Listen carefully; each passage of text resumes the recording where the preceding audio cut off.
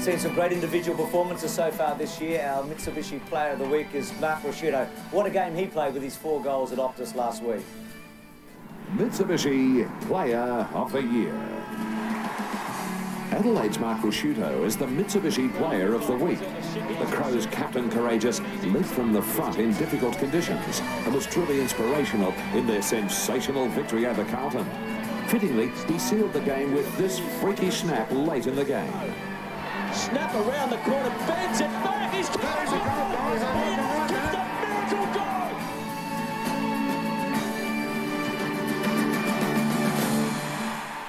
And one of the highlights of every Saturday night is to go to the Sun.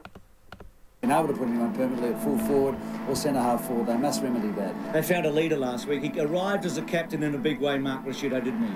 He's been a good leader.